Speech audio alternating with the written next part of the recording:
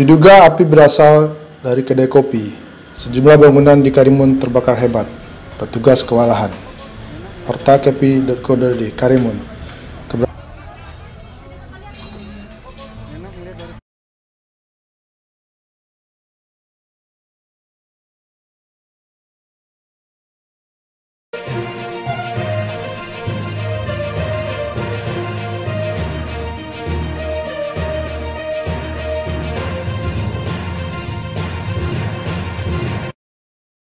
Akan hebat melanda sejumlah ruko dan bangunan yang terletak di bilangan Pasar Malam RT 03 RW 02 Kelurahan Tanjung Balai Kota Kecamatan Karimun Kabupaten Karimun Provinsi Kepulauan Riau.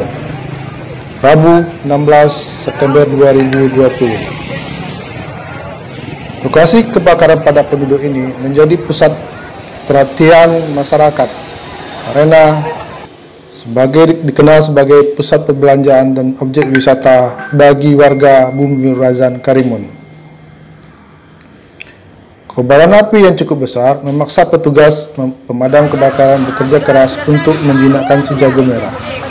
Salah satu penjual pakaian Devi, 27 tahun, yang biasa menjajakan barang dagangan di bilangan pasar tersebut, menuturkan api diduga berasal dari kedai kopi maju.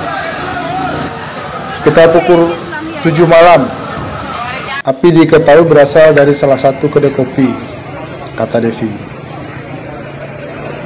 Sementara itu, salah seorang warga Anto mengatakan bahwa kios itu sudah lama bangunannya, terbuat dari bahan kayu sehingga mudah terbakar.